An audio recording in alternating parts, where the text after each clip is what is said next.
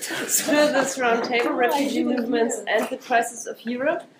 Uh, so this roundtable actually was um, is going to reflect or to um, come up with some theoretical intervention in the recent migrant and refugee crisis, the so-called refugee crisis that goes on in Europe. And it has been very, very interesting being here in the US that everyone who uh, to know that I'm from Germany, everyone would say, "Oh, you poor, poor Germans, you have this uh, refugee crisis," and no one seemed to think about. I mean, the whole international, global dimension of what's uh, going on in Europe. But actually, of course, it is a crisis for Europe as well. Um, so both sides of it, the refugee movements, the refugee movement, which also means uh, the kind of uh, new social and political practices and interventions that have uh, occurred during uh, this time, but also the question of uh, what this means for uh, the EU, for Europe, and for the idea, the idea of a nation state is issues that are going to be discussed uh, on this panel, this all European uh, roundtable discussion. As you might uh, realize, I'm not going to introduce people at length because most of you know uh, all of us. We have Daniel Loick, who is the uh, Theodor Heuss Lecturer of this year from Germany, Frankfurt. Uh, we have Cynthia Abruzza, who is Arruzza, who is in the Department of Philosophy at the New School originally from, from Italy. We have our Greek contributor, no, you're not, um, um, who is uh, based here on the, uh, at the uh, New School in the, the, Political Science Department.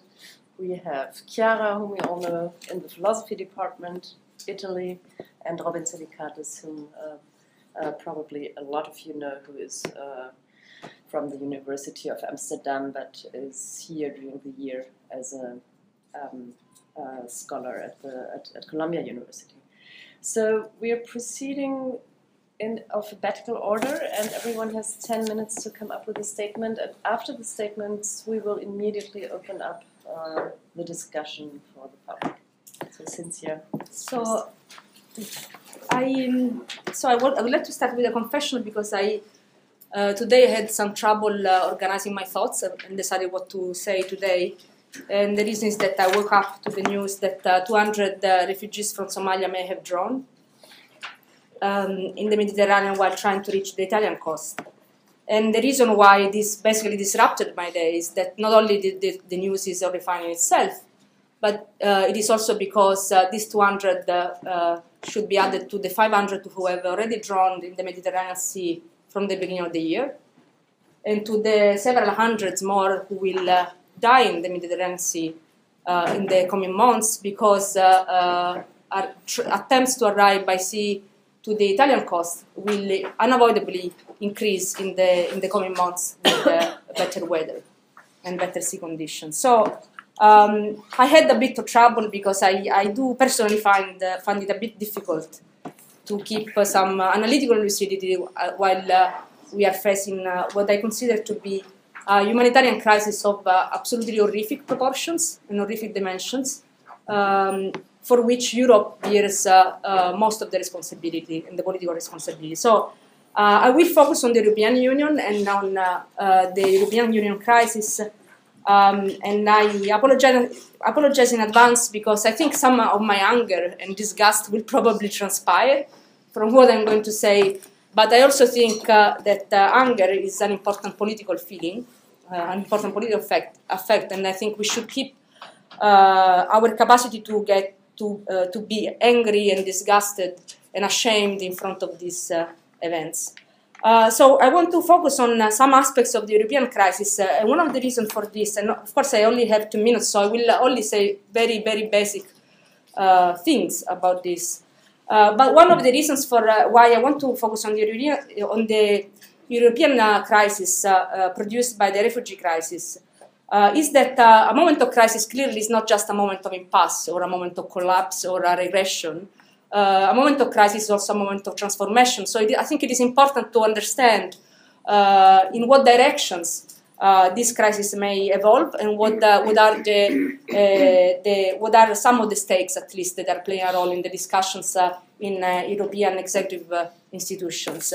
Um, and I'm insisting on the on the uh, issue of transformation in the sense that I do, uh, and this is the thesis I'm going to support uh, today. I, I'm going to argue for uh, because I do think that the refugee crisis, from the viewpoint of uh, uh, what I'm sorry to call European technocrats, is not just a problem to be solved, but is actually also an opportunity to uh, rediscuss and redefine the relations of force and the respective roles of uh, European Union members within the European Union. And I will uh, refer to the Italian case, so what the Italian strategy, the Italian government's strategy has been so far, uh, in order to, uh, to give an example of the way in which the refugee crisis is actually not just causing a problem, uh, it is clearly causing a problem, but it is also giving, opening some opportunities uh, for some national governments to actually redefine and, and, try to push to redesign the, the profile of the European Union and the respective roles within the European Union. Uh, so I will start from the impasse. Um, and just to give you an example of a, a sense of the impasse uh, uh in very few words, uh, over the course of a year, there have been uh, 18 summits involving uh, the executive institutions of the European Union, so the European Council, the Council of the European Union, the European Commission, uh, the uh, United Nations, and uh, also NATO. Uh, the outcome of these uh, 18 summits over the course of a year has been the relocation of about 600 refugees, 600. Mm-hmm. Um, so, as you may understand, the outcome has been absolutely ridiculous. Um, one of the stakes, of, of course, of this, of this summit was to save, try to save Schengen, basically. So try to save the Schengen agreement. These summits uh, didn't manage to do this. Uh, the Schengen uh, agreement, uh, Schengen has been suspended by a number of individual countries. Uh, the most recent uh, instance is the suspension of, of, Schengen at the border between Austria and Italy, at the Brennero um, by the Austrian government, which is causing a set of a series of uh, tensions uh, uh, between the Italian government and the Austrian government.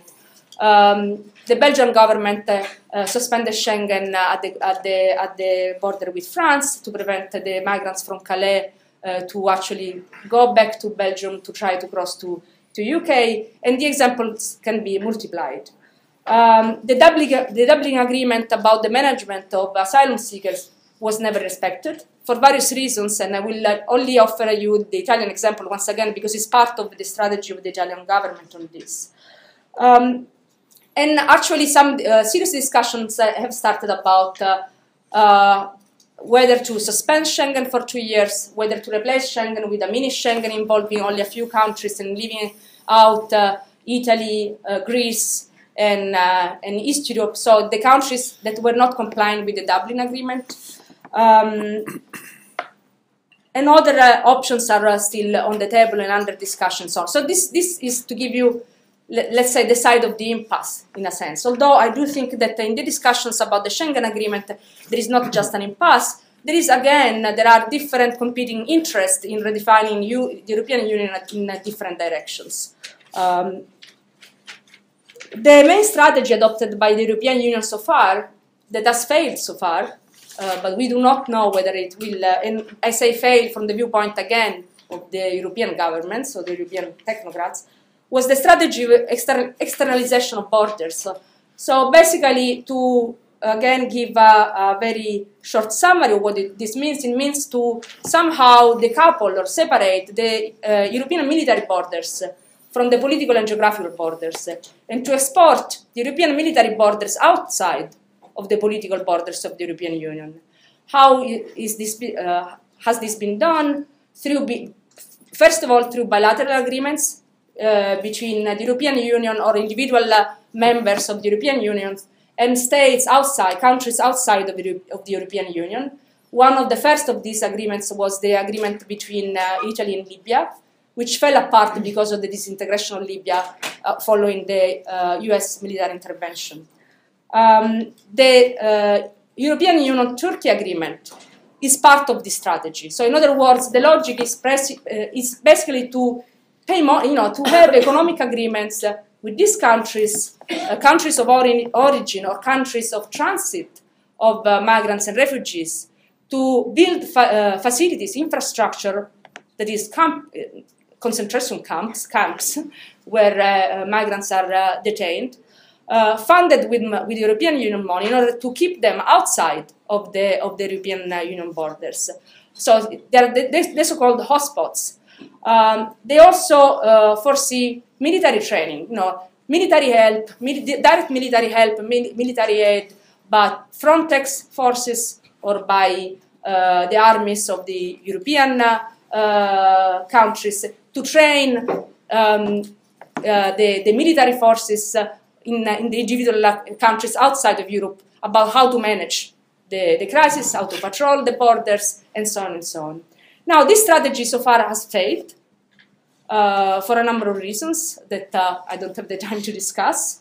Uh, however, the, I think the European and uh, European Turkey agreement is trying to actually relaunch this strategy.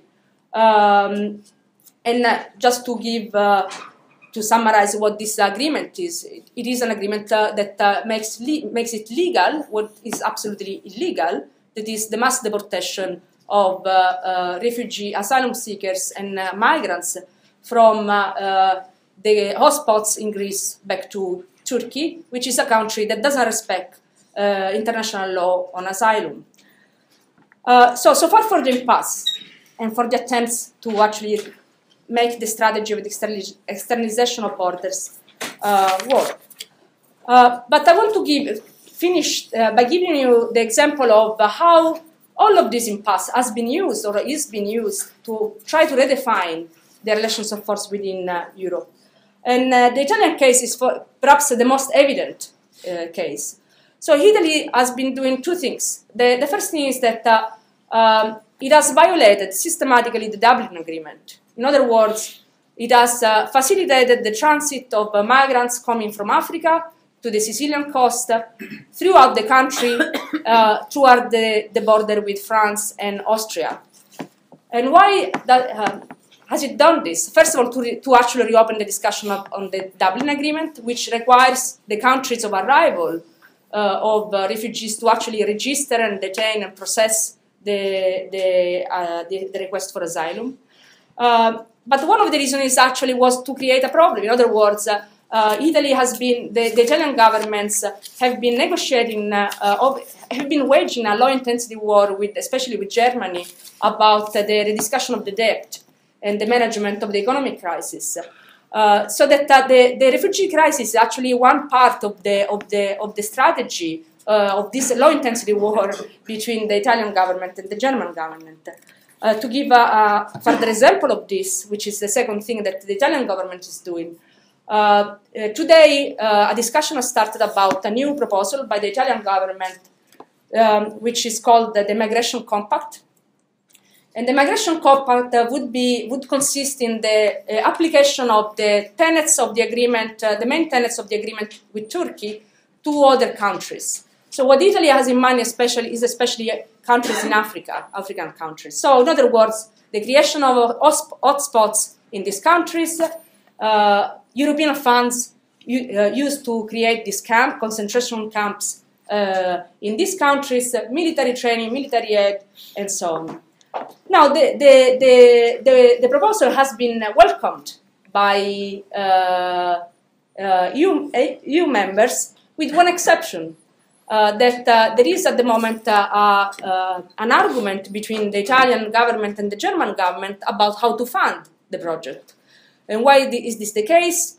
Because uh, Italy, so the government Renzi, has suggested, and is insisting on this, that perhaps the European Central Bank or another institution should release Eurobonds to fund this project. In other, word, in other words, and this discussion about Eurobonds has been going on uh, between Italy and Germany for the last years, and, and there is uh, so what is the point here is that uh, um, that uh, uh, the Italian government is trying to use the refugee crisis uh, and the necessity, necessity to, to, to, find a solution to the refugee crisis to actually mutualize the debt. So, in other words, to issue, to, to push, to force the, the German government that has constantly refused to do so to issue, uh, to, to accept that uh, the European Central Bank will issue um, will issue euro bonds, so joint bonds.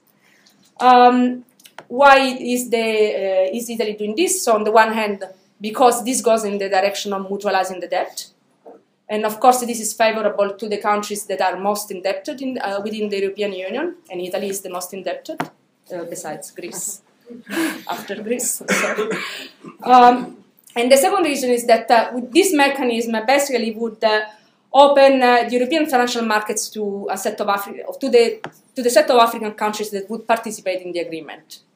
Uh, and uh, I think that the reasoning behind the uh, Italian government is basically that this may actually help Italy to then acquire an international and financial profile, so as a main reference, reference, uh, reference point and interlocutor for the African countries that would participate in the agreement. So I'm giving this example just to uh, just to give you precisely an idea of the horrifying uh, nature of the of the negotiation uh, about the refugees, where the point is not simply to manage millions of people who may arrive to Europe and so on. The point, the, the point is really like what kind of interests are at stake in this uh, in this negotiation and uh, uh, and and how this this crisis can be used to actually either on the one hand to reassert and to confirm the German hegemony within the European Union or to jeopardize on the one hand the, the, the German hegemony in the European Union. So I will conclude with a more general point, and I, I will throw this as a provocation here because I think um, there is, of course, a, a, shared worry that uh, one of the reactions uh, to this European uh, to this crisis may be that of you know just coming back to national sovereignty, to the to the, a strong notion of, of the national state, and what, one can discuss whether this is actually a problem or not, um, and we may have different ideas about this. But I actually do not think, although I do think, of course, this is one of the options on the table, so this may happen. Uh, but actually, I do not really think that uh, this is the most likely outcome of the of the crisis for the reasons uh, for some of the reasons I was explaining. is that actually uh, the interest stakes uh, um, have more to do about redesigning what what the European Union is, leaving perhaps out some of the countries, including excluding, and so on, redesigning uh, a system of, of transnational governance uh, more than going back to simple national sovereignty and uh, internal borders. And uh, one of the simple reasons for this is that from an economic viewpoint, so from the viewpoint of European capitalism, uh, the suspension of Schengen is a disaster. So at least from the viewpoint of, of the big European uh, capitalism, the um, Il Sole 24 Ore, which is the equivalent of uh, The Economist or the Wall Street Journal and so on in Italy, has been publishing articles uh, every single day uh, attacking Austria in the last days for the suspension of uh, Schengen at the border with, with Italy. Just to, and uh, you know, giving quantifications of the economic damage that this that this entails. Why? Because Schengen regulates not only the free circulation of citizens, but quite importantly, the free circulation of commodities and goods among the among the among the boundaries.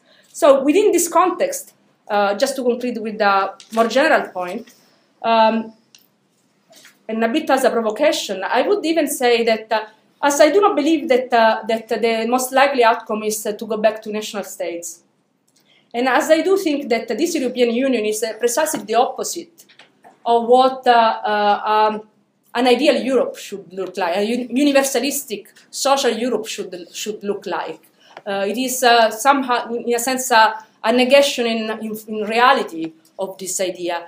Um, I personally am reaching, increasingly reaching the, the, the, the conclusion that uh, uh, a strong opposition to uh, this whole uh, institutional uh, framework uh, and, and to what the European Union is today is absolutely crucial, paradoxically enough, to save the dream or the ideal of a real European Union. Because what is happening today is that the, the way in which the unity of Europe has been achieved and has been realized uh, with also with the extreme lack of democracy, the European Parliament is playing absolutely no role in this in this crisis, no role whatsoever. Uh, so the way in which this European Union has been implemented and acted is actually discrediting and delegitimizing any idea in the eyes of, uh, of citizens uh, uh in, uh, in Europe any idea of uh, a real, uh, uh, you know, a real uni- uh, unity of Europe. So I think that uh, one of the things we, things we should be clear about is that uh, when we define defend the, the, the ideal of uh, transnational forms of, of, st- of statual organization, uh, this is uh, this should be really considered in terms that are absolutely diametrically opposed to what is uh, happening now and what, what and to what has been realized so far, which is to sum up with a single word, simply a shame. Thank you so much.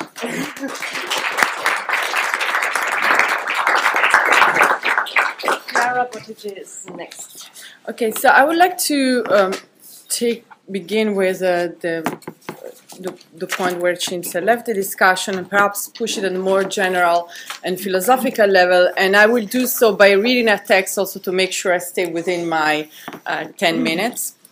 So, most of the debate, and I think uh, what I've heard so far, uh, suggests is um, really revolves around the issue whether the responsibility for handling the refugees crisis belongs to the European institution as a whole or whether it belongs to individual nation states, and if the latter, which ones. I would like to suggest that actually this is a false alternative. In terms of citizenship, the European Union is dependent on the nation states that compose it, and therefore, as a political organization, the European Union is still largely dependent on the logic of the nation states. But states, in particular European nation states, are, in my view, incapable of handling the crisis, the crisis precisely because they are the very source of it. So instead of asking how can Europe or European states solve the problem of the refugee, we should rather ask, can European state actually even do it? And the answer, as I already suggested, in my view, is no. European uh, states are unable to deal with the problem because uh, the European nation state, as a political uh, as a political form of organization, is the source of the problem. In order to understand why this is the case, let me try to begin with uh, an even more uh, fundamental question, which is why and how can uh, migration become a crime? Uh, how can it be that something that human beings have been doing on Earth since their appearance on this planet that is migrating, all of a sudden started to be uh, possibly persecuted as a crime? Uh, and uh, this is currently the case not only in the US but also in most of the European uh, countries. Notice here also the anomaly created by European immigration law as the No One is Illegal manifesto reminds us, immigration law is different from other types of law because under all other types of law is the act itself that is illegal. Whereas immigra- in immigration law, it is the person who is illegal. So when you cross a border without proper documents, you are not simply doing something illegal, you are becoming illegal yourself. Hmm. As a consequence, illegal uh, immigrants are uh, routinely and automatically dehumanized because they are reduced to the state of non-person.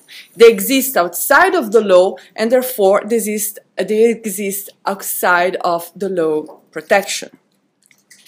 Now, it's on the basis of conception of the law, centered on the notion of personhood on the one hand and on the roundness of the earth on the other, that Immanuel Kant uh, once tried to defend the idea of a cosmopolitan right of hospitality. I don't want to go that way. I don't want to uh, enter into the details of Kant philosophy right, but I would like to draw attention to his central claim. Human beings are given the entire globe as their only possible dwelling, this is what Kant observed, so they cannot dispersion it infinitely because the earth itself is spherical. This also means that you cannot be denied entry in all and every country that you cross because you would end up precisely at the very same point where you began. Hmm? This is what is happening now in Europe. It's always pushing somewhere else. So according to Kant, this explains why human beings have the right to move on Earth and to try to enter in a friendly relationship with people living in other regions of the globe, and the latter, in their turn, they have a universal duty of hospitality. Now, notice that this duty of hospitality uh, simply means not treating them as enemies. Uh, this is Kant formulation, which translated in our terms means simply allowing them entry. Uh, it doesn't mean hang out with them, take them out for dinner. It simply means allowing entry. Now, Kant notoriously liked to present his theories in the form of a transcendental justification. Let's try to uh, unpack the format and see what happens if we adopt a more mundane empirical perspective. So, since the very first appearance of that animal species called Homo sapiens, humans have constantly been moving from one land to another. Uh, how did it happen that such a tendency could become persecuted as a crime up to the point that doing so turns the people themselves into illegal as such? Hmm? Now, humans have always been migrating, but have not always been living under sovereign nation states. Uh, Rather, if you look at it in a historical perspective, the modern system of uh, sovereign states cannot but appear as a relatively recent phenomenon. Uh, it began in Europe, sometimes during the 16th or perhaps, according to other uh, interpreters, the 17th century, and it was ratified, according to uh, the common view, by the 1648 Peace of Westphalia. Uh, so 1648, and it's not that long time ago. Now, what are the consequences of this? First, the sovereign state is not an a priori of human life, but a contingent historical phenomenon which appeared at some point in history. There's no a priori reason to suppose that it's going to be there forever. Second, its history can actually be located in a very specific time and place, uh, European modernity. So there's no, again, a priori reason to suppose that the way it worked in Europe, and well, it was a good thing for Europe, should work equally well elsewhere. Now, this second point is particularly relevant for us because, as, as you notice, most of the debate around migration tends to take the presupposition of a world of sovereign state as unquestioned. Hmm? But should uh, this is uh, this at least is my view. This should not be the case first and foremost because it has not always been the case. As many theories of international relations have been pointing out, it's time to dispel the myth of the Westphalian system, that is, to dispel the idea that the framework of a world divided into nation states should be the default um, form of organization of our political space. Actually, the organization of the globe in such a system, which implies a, system of state each claiming sovereign authority within specific territory and with the consequent system of clear-cut boundaries, uh, not only began in Europe, but also remained there for a relatively long time. Um, we can say at least it remained there until 1945, which is the moment when the decolonization movement um, other, uh, the entire globe started to be divided in nation states. Between 1648 and the Second World War, most of the earth lived under empires. Huh? Now, empires did not have that many virtues, but uh, on the other hand, they had porous boundaries. Uh, boundaries that were much more flexible than those uh, implied by the idea of a world all divided into uh, sovereign states. Now, do we have to keep uh, thinking about the world in terms of uh, sovereign states, and even if it, it doesn't prove to be possible, uh, to envisage alternative uh, forms of organization here and now, can we not think of a forms of statehood with porous boundaries? Uh? So, to sum up uh, what i have been trying to say up to now, I think the idea of a world fully divided into sovereign state is not only an historical phenomena, but also a very recent one and one which has proved uh, not to be working particularly well, particularly outside of Europe. Its incapacity to handle the refugees crisis and the migration of our time, I think, is just one among the fa many failed uh, promises of the sovereign state. Yet, we are so caught up in the model of the sovereign state that we keep discussing and di disputing within its logic as if it were the only one possible. This is my land, this is your land, this is my country, this is your country, we were here before, you arrived later in doing so, in all this questioning, we tend to forget that the only thing that we can actually claim to be ours, in the sense that we cannot be outside of it, is the earth. Uh, nothing more, but also nothing less. There are a lot of different possibilities on how to organize our living on earth, which is not necessarily a system, the Westphalian system of sovereign states. So we live, uh, however, in a context where it seems impossible to even make the argument that people should be allowed to freely circulate. Yet there are people who believe this. There, is, there are numerous campaigns for the abolition of the crime of clandestine immigration. Huh?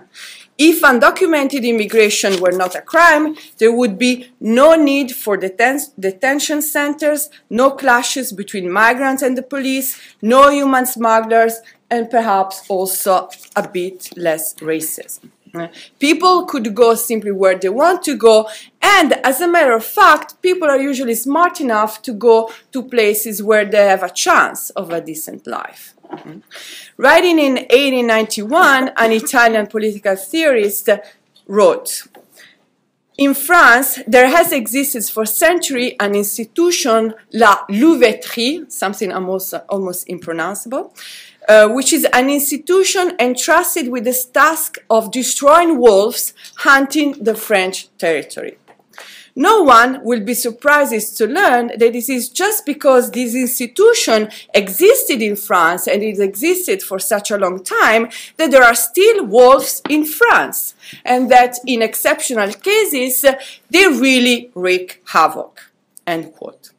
So at a time when wolves had ceased to be a problem everywhere in Europe, they still were a problem in France. Uh, in the rest of Europe, wolves had been demonized, so you know they were no, no longer the problem, so they could simply freely circulate, but they were still a problem in France, where there was the institution La Louveterie for the extermination of wolves. Similarly, we can think that migration problems exist because police uh, on the borders uh, exist. No louveterie, no wolf. No border control, no border problems, which also means no need to invest millions of euros in building walls, which is what Hungary is doing and uh, many other European countries are thinking of doing. No detention centers where migrants are forced to live in exasperating conditions.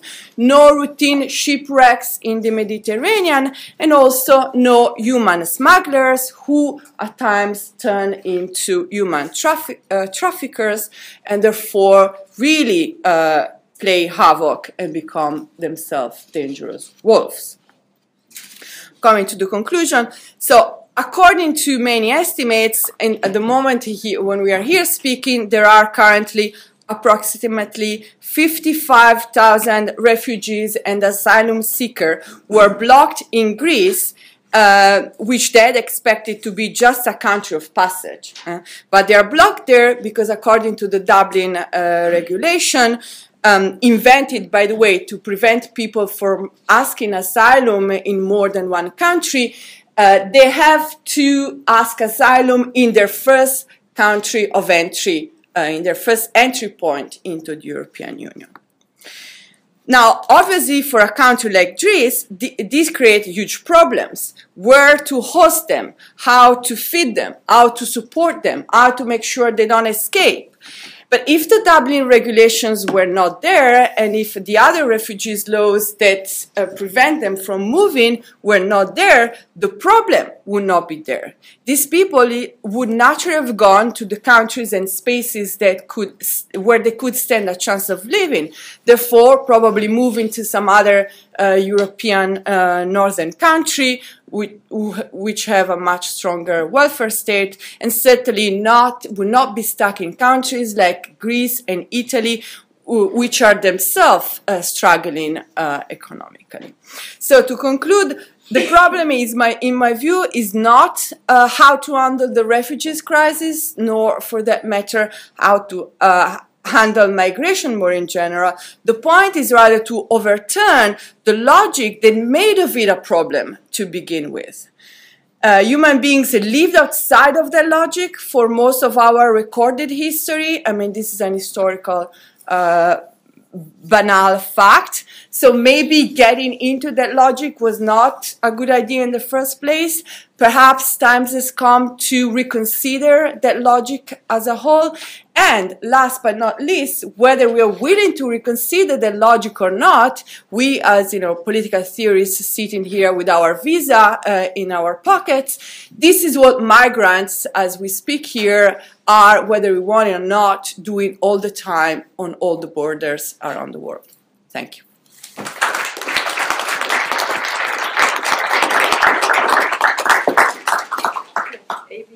ABC as in Celikates. next. Thanks a lot. Um, so I want to turn um, the theoretical focus to the other meaning of refugee movements and look at the political significance of um, the movement of refugees, both in the sense of political movements, but also in the sense of understanding the act of crossing the border, and especially understanding the act of irregularly crossing the border as a political act. So I'll focus on a specific aspect of what is sometimes called border struggles, so struggles that take place at the border, not only now after migration has taken place, we are all familiar with migrant movements. Um, organized uh, refugee movements, for example, in Berlin or in Amsterdam, where you have a lot of uh, groups of uh, migrants and refugees that claim uh, political agency and kind of a voice in, in, in, in, the public sphere. But what is new, I think, and what is really interesting is that this mobilization now takes place at the border um, itself. And this is manifested in a lot of um, pictures that you have seen in recent weeks where um, refugees and other migrants who are crossing the border irregularly are holding up signs um, which make clear the political aspect, the political intention even of that act of crossing the border. They have signs which say open the borders, they have signs uh, claiming human rights, rights to freedom of movement, etc. That, and that's, I think, a qualitatively new uh, development in the politicization of migration uh, that we have seen since um, this so-called crisis has um, erupted in, um, in, the last uh, year and a half. Um, so I want to ask the question whether irregular or what would be more correctly called irregularized migration, because I agree with Chiara that migration itself um, is never irregular in itself per se. It's uh, irregularized. The status it has is a status that states usually impose on migration. Um, and I want to ask whether irregularized migration can be fruitfully understood as a form of disobedience or even as a form of civil um, or civic disobedience. And I think this question is actually useful despite maybe you know its counterintuitive character because it lets us see something about the act of migration that we might otherwise miss, namely its political potential. But it also tells us something about the inadequacy of established understandings of civil disobedience that uh, we find in the public debate, where civil disobedience is only exercised by agents who are already recognized as citizens by these states. But that's clearly inadequate, and I think um, in order to understand the political um, potential of uh, forms of migration that we've recently witnessed, it's, um, it's actually useful to think of them in terms of civil disobedience. Um, also, for epistemic reasons, I mean, this concept, looking at migration through the lens of civil disobedience, also shows, I think, something that we often repress, namely the, ins- the uncivil nature of the existing border regime. So, also something that the first two interventions have highlighted. So, by looking at the civility of um, these acts of irregularized border crossing, we can also see the incivility of the existing border regime.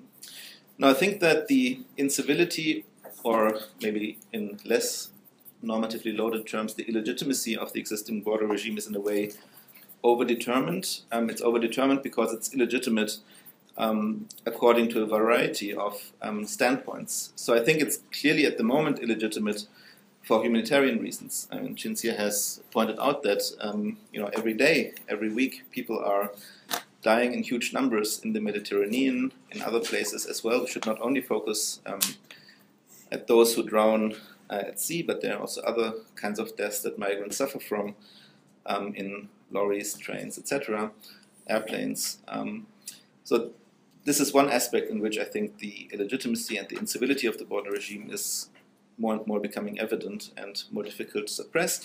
Um, it's also, um, I think, illegitimate from a legal point of view, as the UNHCR and other UN agencies have pointed out, and as I think Cinzia also has um, pointed out, the uh, current agreement between the EU and Turkey um, probably asks states to violate their obligations under international law, and is from this point of view, which is not a very revolutionary one, uh, illegitimate.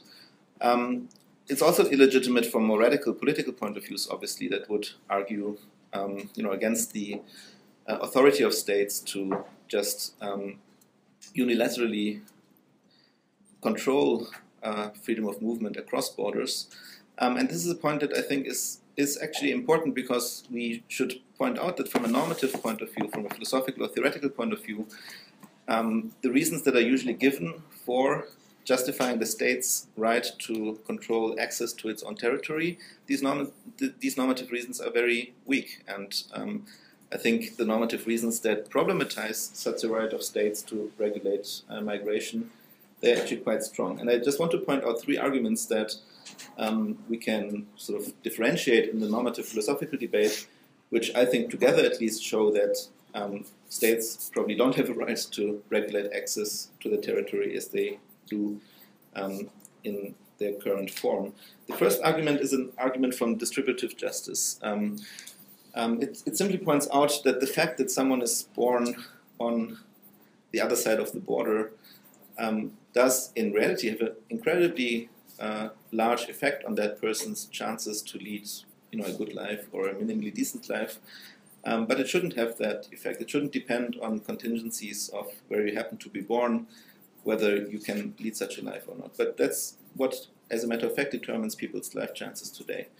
Um, and the existing border regime is cementing these injustices. It even keeps us from seeing them because it naturalizes this idea that, you know, it's just that's just how it is. Some are born in Germany and others are born um, in, you know, all the other countries that people try to uh, flee from. Um, as Joseph Carens has argued, this is analogous to feudal privilege. It's not it's it's unjustifiable that this kind of contingency has these effects. Um, another argument against, from a normative point of view, against the existing border regime is an argument from freedom of movement. Um, in almost all states, freedom of movement is recognized as a constitutional and even basic human right within these states. Um, but I think the same considerations that speak for you know, recognizing freedom of movement within nation states also speak for recognizing it across nation states um, there's absolutely no reason to think that in all cases people's claim to move freely can be sort of satisfied within, again, the contingent confines of the nation state they happen to be born in. So why would why should we accept um, states claim that they can just, without giving any reasons, actually uh, limit people's freedom of movement in the ways in which they do? Um, a third argument that uh, we can see in the normative debate argue, is an argument from democratic legitimacy. Um, borders um, have an incredible effect on the people that they hinder from migrating and entering. And as uh, Arash Abizadeh has shown, I think convincingly in a series of articles, um, that would usually, let's say, normal understandings of democratic legitimacy actually mean that these states have to um, you know, somehow not only justify themselves towards those they are coercing with their border policies, but actually somehow involve them in the process of decision making. Usually, those who are subject to coercive laws have political standing, not just standing as a moral subject, but political standing. But most migrants who are directly affected by, for example, the border laws of the European Union have absolutely no say. It's totally clear in how these uh, laws come to be and how they are um, exercised. So, from all these different perspectives, I think um, um, it's clear that the existing border regime in general, but in particular the one enforced by the European Union at the moment, is illegitimate from this variety of normative perspectives, but, but also, as I said, uh, from the humanitarian and more limited um, legal perspective. Now, I think that um, this gives us sort of strong reasons to think that irregular migration can be justified as a kind of resistance and disobedience in the face of that illegitimate border regime. And I think it also gives you know, people who are citizens of these states reasons to actually assist those who try to cross borders irregularly in uh, doing so. Um, now, what does it add to look at irregularized migration through the lens of civil disobedience? Um, as I said, I think it, it helps us see the political uh, potential or the political dynamic of migration movements that challenge the kind of naturalized um, legitimacy assumptions that we usually subscribe to, where nation states just have the right to regulate access. I try to I try to show why this is a very implausible assumption. I think the fact that people um, en masse violate this claim as a matter of fact through their irregularized migration can help to expose that usually naturalized assumption. So I think it's a, it's a case of disobedience which turns our attention to a problem that we usually um, don't really um, take seriously. So it, it has a kind of denaturalizing effect, which is, I think, one of the, um, you know, also kind of classical roles that civil disobedience plays in other uh, contexts. It's, it's, it's trying to force, um, as Martin Luther King already argued, it's trying to force a public to pay attention to a problem that it would rather just ignore in order to continue with um, its daily business. And I think in that sense, um, irregularized migration can play um, a similar role. But as I said, it also teaches us something about um, how to change our, our established understanding of civil disobedience. I think um, we should reconsider uh, that idea of civil disobedience in three dimensions with regard to the agents of civil disobedience, with regard to their practices, and with regard to their aims. And I'll just end by saying quickly what I mean with that. So, um, with regard to the agents, I think it's clear. I mean, these forms of civil disobedience, if we want to think of them that way, they're not exercised by agents who are already recognized as citizens. They are precisely um, engaged in by those who have no political or even moral standing in the current configuration. So, in that sense, they are much more radical, I think, than established forms of civil disobedience in which citizens engage.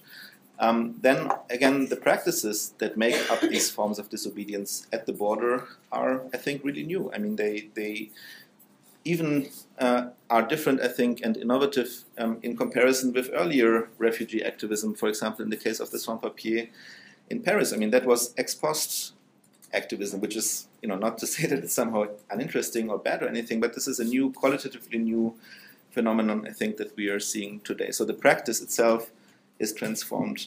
And, and finally, with regard to the aim, I think what we can learn from looking at irregularized migration as civil disobedience is that this kind of disobedience can be pretty radical. You know, I mean, what is happening is not is not that um, irregularized migrants sort of ask for local changes in how uh, a system that is generally recognized as legitimate works. No, what they are doing is to actually call the fundamental legitimacy of that question, of that system, into question, and to actually ask for a fundamental revision of the basic rules of that system in terms of freedom of movement, in terms of um, global justice, but also maybe in terms of some kind of transnational and to a certain extent maybe utopian. That's where I think my comment links with Chiara's uh, certain form of utopian understanding of transnational um, democracy that is already enacted in the way in which uh, these movements take place uh, today. Thanks.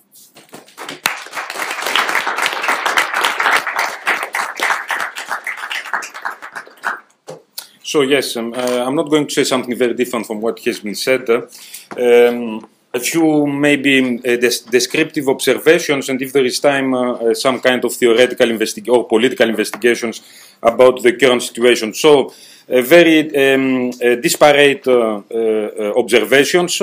Um, can, we can start with the question what's wrong uh, with Europe, although it shouldn't be limited to Europe but to the global north. But let's say what's wrong with Europe. To understand what's going on in Europe, um, one can start with a counterfactual comparison. when the Germans, in particular, let's say Merkel, insisted on imposing this new austerity project um, in Europe after the, the financial crisis, nobody uh, uh, challenged her her position, even uh, her popularity increased. When uh, she uh, took the position about uh, refugees, uh, uh, almost uh, she was uh, overthrown. So, in other words, uh, uh, both the political European elite uh, and the public opinion, in a sense, sided with Merkel when it came to the austerity politics, uh, but when it came to the refugees, uh, they abandoned her. And I think, uh, imagine it was the, the other way. Merkel uh, supporting the refugees and having the support of Europe and of politicians, and Merkel supporting the austerity and being abandoned by her allies. that I think will, says a lot about how Europe, uh, what's happening to Europe. Now, uh, I'm not the second observation. This is what's happening now in Europe with the refugees. It's not something new. We shouldn't be really surprised about what has been happening in the in the last one year. It has been in the making of after the, the end of the Cold War. Uh, it's a post-Cold War phenomenon that uh, for the, the, last 25 years uh, had already started. Uh, the numbers were there. It's what uh, we see, it's a culmination of a process uh, that is almost synonymous and coeval of the Europe emerging after the, the, end, the, the, end of the Cold War and the creation of the, of the new Europe. So it is part of the 90s, it's part of the 2000. uh, it has a long trajectory. It's nothing. It's not. It's not. It's not something new. Uh, the third element um, uh, that uh, also one uh, has to take in, uh, into account is the way one evaluates um, Europe in general. Uh, again, nothing to be surprised uh, given uh, the history of modern Europe. I'm surprised, on the contrary, when I hear that there are some ideas that Europe has to, I don't know, redeem uh, by taking the correct position on the so-called refugee uh, question. Uh, xenophobia, racism, uh, exclusion, nationalism is constitutive of the European identity. So we shouldn't really be shocked or ashamed by something that has been happening for centuries. Nationalism, not only the state, but nationalism uh, uh, has been created by Europe. So to say, to, to, to think about redeeming the universalist European dream is simply to try to redeem uh, the Eurocentric core of that dream for the Europeans and the nightmare for the others. So let's think more about this. The fourth point, uh, observation, is that we focus on the refugees. And uh, this uh, creates, I think, um, uh, an obscurity, obscures uh, the question of the irregular migrants. Uh, we have forgotten about the irregular migrants. Everybody focuses on, on the refugees, and uh, uh, uh, the, the future of, uh, of a political struggle should include both categories. Uh, rather than privileging the one against the other and turn the one against the other, or putting all resources, attention, strategies, politics on the refugees. This is an artificial administrative distinction. Uh, whether one. And the, another uh, additional observation is who is a refugee? Uh, in the long uh, western uh, tra- modern tradition of political theory from let's say Bodin on the refugee always has been uh, uh, equated with someone who flees oppression and persecution. Is the, sub- the subject who flees who runs away it's, uh, it, it, it used to be formulated in the traditional classical uh, politico-theoretical language uh, as uh, a, a passive, passive disobedience. So, and when we adopt this term, uh, we are reproducing uh, this uh, depolitization and negative connotation of the subject the refugee as someone who flees. Uh, and uh, as also um, um, it has been said by Robin and others, I want to emphasize now uh, maybe what I consider to be uh, the culmination of these uh, uh, events that have been developing for many decades in what we are witnessing um, in the borders. Uh, I don't remember any time in the uh, history of modern European states, and perhaps not only there, where uh, clashes, violent clashes, I'm not speaking about civil disobedience, I'm speaking about uh, uncivil acts of disobedience, cla- clashes between refugees or irregular migrants uh, with uh, activists, uh, let's call them native European native activists, against border police and national armies. This has happened uh, in uh, the borders in uh, Greece and Macedonia. It, ha- it happened in the Hungarian borders. It had already happened in the Calais many, several years ago. So never before to my knowledge, with a few exceptions in divided cities, Berlin and Nicosia in Cyprus, did we see violent clashes not between two combatant armies, but between spontaneous, unorganized movements from below and uh, uh, border patrols or national armies. This is, in a, in, in a sense, what may uh, define and determine the political struggles of the future. It will not be any more about redistributionist politics, economic equality among a given citizens, but rather it will be about the meaning of boundary differences, distinctions, exclusions that define who is within a political community, what is a political community, and what is outside. This, uh, I, I, take it to be the beginning of a new type of politics that will define the global north, maybe also the global south. If one looks at what is happening in Africa, in South Africa, uh, in uh, the Middle East, uh, with the mobility of migrants all around the globe. Now, what that will mean for the so-called European left. Uh, I might use a decisionistic language because I think decisionism uh, is important uh, as a political language and political practice. A decision has to be made for the so-called European left. Either they will stand with the migrants, irregular refugees, and fight with them on the borders against their own native police and patrols, or the right will take the initiative that already is taken, because this is the most privileged place for the right to rediscover itself, nationalism, xenophobia, cultural identities, and uh, the whole European project will go back to the 1930s. In other words, the world historical task of the so-called European left is to side with an internationalist project from below that it, cannot, that it has not invented, it has not led, but it can side with and give it more organized solidarity and form. So this is the decision with whom you are. Where do you stand? With the, these movements or against? And I'm saying this in relation to the so-called social democratic left. Social democracy, not only at the level of the political elite, uh, has sided with the discourse of the right and the extreme right, and this we have seen it since the 80s and the 90s, uh, but there is a deeper logic of why this has happened. One is the historical. Social democracy emerges in the moment where the communist and socialist movement splits between internationalists and socialists.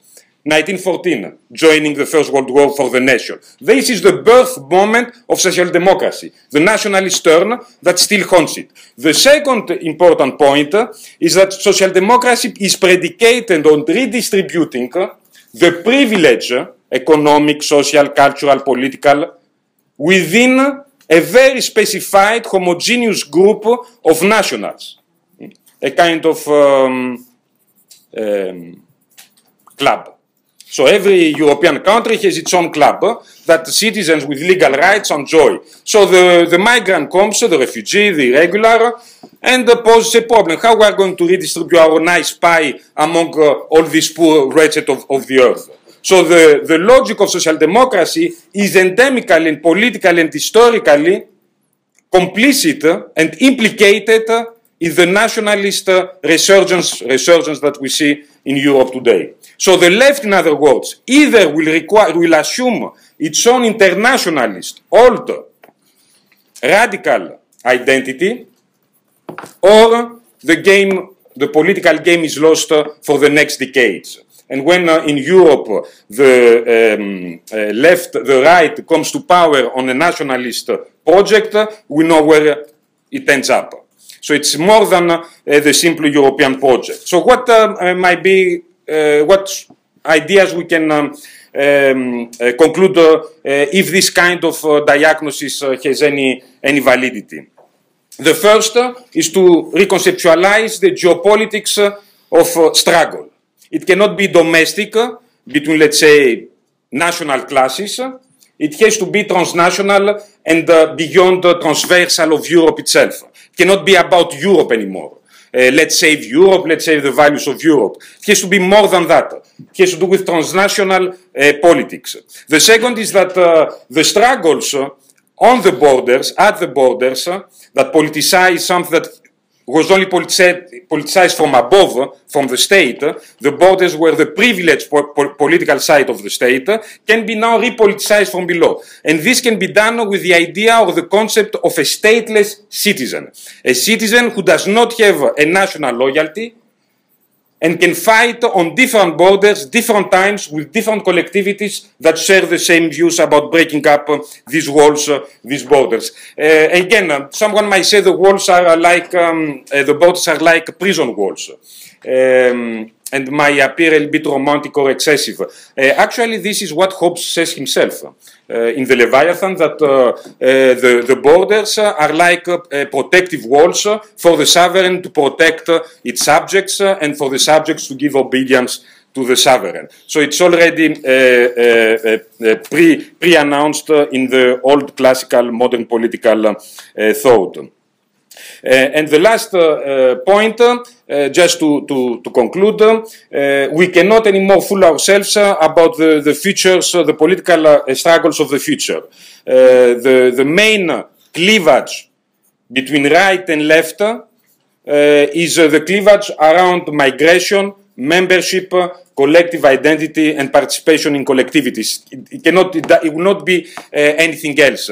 And in that sense, as I see it, uh, although I'm not extremely optimistic about, the only solution in a rational, uh, from a rational point of view, the more radical, extreme the left becomes, the more hope there will be politically. The less radical it is, we are moving all into the extreme right. This, I see the uh, feature uh, cleavage uh, that is taking place right now in front of us. Thank you.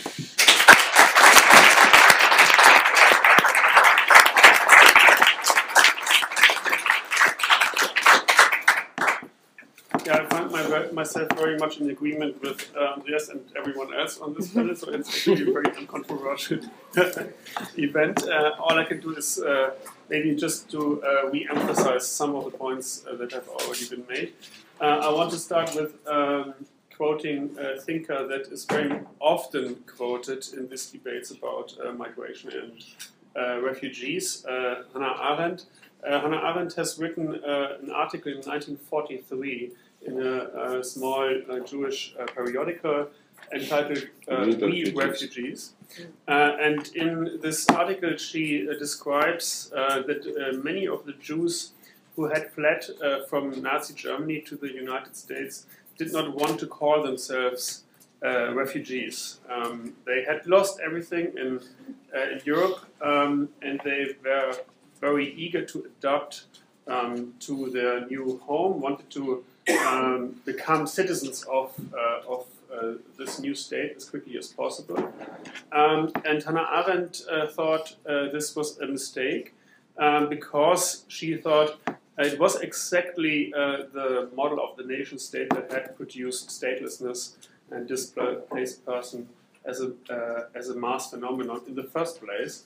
So she thought she thought it would be um, short-sighted to simply see uh, the refugee status as a deficiency, as a problem, and the status of the citizen as the norm that should be regained as quickly as possible. Instead, she said uh, refugees should remember what made them special precisely as refugees.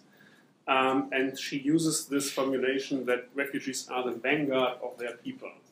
Um, uh, because refugees have already actually already accomplished something what the, the others not, have not yet accomplished, namely uh, freedom from a nation state. Uh, and in my short uh, statement, I just want to reflect on what that might mean for us today. Um, Giorgio Agamben uh, has 50 years later taken up Arendt's um, suggestion and her analysis um, and I believe Agamben's uh, argument is very simple uh, in a way. Uh, Agamben has argued that uh, in modernity, or the modern nation state rests on the assumption of a continuity between birth and citizenship, between uh, nativity and nationality. If you're born on the territory of, an, of a nation state, then Normally, um, you're granted citizenship in that nation state, and therefore you also gain protection of that state. Um, so there's this fiction of a continuity between birth and nation. Um, and but uh, at least since uh, the beginning of the 20th century, um, there have been a growing number of uh, stateless and displaced persons challenging this notion of the continuity between birth and, uh, and, and, the nation state um, on a very fundamental level. Th- these are people, stateless people, displaced persons, who can no longer be represented within this uh, nexus of nativity nation state. And uh, Agamben, most of you probably know this, and he, he, he uh, predicts that uh, states will manage, will try to uh, solve this pro- problem by, um, try to manage this problem by localize these people uh, who can no longer be represented within the nation state and to create spatial forms of states of exceptions um, that he calls camps. Um, I don't want to go into the details of Agamben's analysis, and I know that um, the accuracy of his uh, analysis are very much in debate. I don't want to debate about these theoretical points now. I'm just going to say that I think that um, the basic points of his analysis have been proven correct. Um, I believe that uh, if we look, and many on this panel have made this point already, that if you look at the Mediterranean, how Frontex, uh, the EU Border Protection Agency, acts in the Mediterranean, if you look at the camps in uh, Idomeni and uh, Lesbos, um, there is something going on like that. Um, uh, Frontex, for example, acts as a temporary sovereign uh, um, beyond the 12 mile uh, zone in the Mediterranean. Um, these refugees that are subject to um, these acts have no possibility to, um, to legal protection whatsoever. They are only the objects of sovereign action, they never uh, the subjects of the law. Um, so instead of discussing uh, this in more detail, if Agamben is right or not, I just want to um, ask the question, given this situation that we are in right now, what does it mean to take seriously Arendt's uh, proposal to uh, rethink uh, the central categories of the political uh, based on the experience of refugees? Um, and I mean, there's obviously no reason to uh, romanticize um, or to glorify uh, the experience of refugees. Uh, most of the refugees are probably would be very happy to gain citizenship status um, and to uh, uh enjoy the rights and the privileges that comes with uh, such status.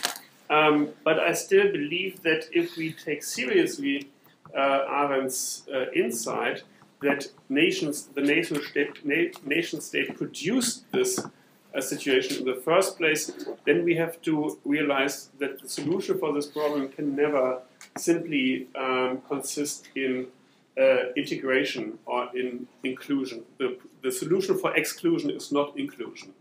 Um, that is something I think we can we can learn um, from uh, from Arendt, because if we think that we should overcome this current horrific situation simply by including everyone in the nation state, as maybe the early Merkel, uh, still the Merkel of uh, 2015, uh, still believed, um, then we still adhere to this fiction of the necessary continuity between birth and the nation state, and we still think the refugee status as a problem and the citizenship status as the normality, and thereby we reproduce um, the uh, um, uh, the catastrophic logic of this um, of this uh, fiction.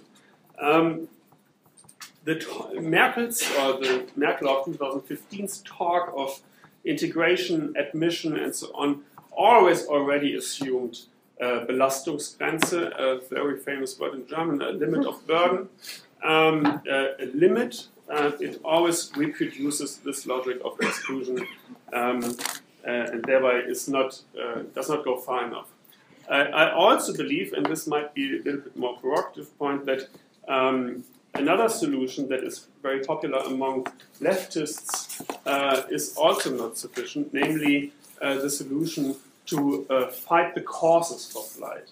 Um, that is something that many leftists always say that, um, yeah, we cannot solve the problems um, uh, at the border. We have to fight the causes why people are leaving um, their home in the first place. And I think uh, even though this is based on a very true uh, analysis, namely that it is the North and the West that have produced these causes for flight, uh, for example, by humanitarian, so-called humanitarian interventions, wars, uh, ecological destruction, economic policies, and so on, I still believe that it is uh, short-sighted to simply say that we should fight the causes for flight because then we are also assuming that it would be best if everybody stayed in their place and uh, we would still uh, continue and perpetuate this fiction of birth and territoriality.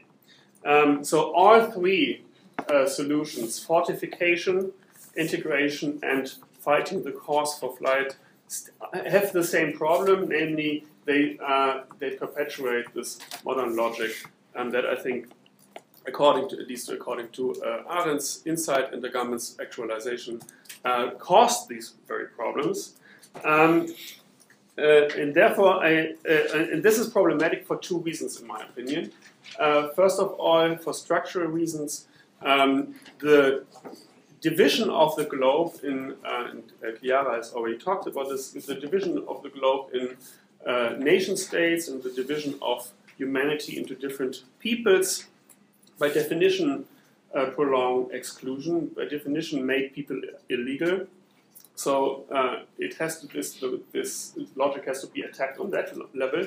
And another point, the second point, also something that Arendt has already seen, is that it was only with the monopolization of force that is characteristic for the modern nation state um, comes the technological possibilities that we can that we see playing out against refugees right now. Uh, I mean, if you if you look at the decision of the EU uh, Council of Ministers from uh, last May 2015, you find um, measures like uh, the fight uh, of illegal uh, immigration by warships, submarines, drones, helicopters, satellites, and communication centers, and to even come up with such sophisticated measures to fight migration is something that is comes only comes about because uh, uh, violence in a society is concentrated in the state apparatuses. Um, and thereby, if we accept these very um, state uh, violent forces, then we will always uh, have the problem that, um, that such technologies will be produced. Therefore, um, all three uh, so, uh, uh, solutions or responses to the refugee movements are not only futile, but also latently um, catastrophic. So instead of doing that, instead of uh, holding on to this uh, uh, fiction of a continuity between nation and nationality, uh, between, between nativity and nationality, we should rethink the, uh, the fundamental concepts of the political altogether. Uh, Arendt, as most of you know, has coined this very famous phrase of the right to have rights. Um, people have the right to be member of a political community, to participate in the social practices of such a community. But at the same time, Arendt has already has also uh, uh, uh, formulated this insight that such a community cannot consist in a nation state.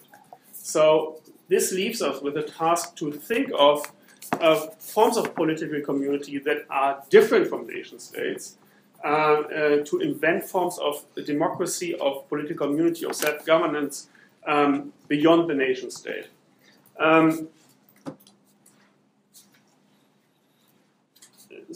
so, and, and, to, to push this even further, I think uh, that that means that instead of uh, the refugees becoming citizens again, uh, being reabsorbed into this uh, normal order of the nation state, um, it means that we have to reorganize the states uh, to better correspond to this fundamental aterritoriality of the human condition.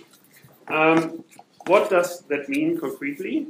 Uh, I just want to very quickly name three points that I think uh, uh can lead us uh, um, in rethinking the, these conceptions of the political.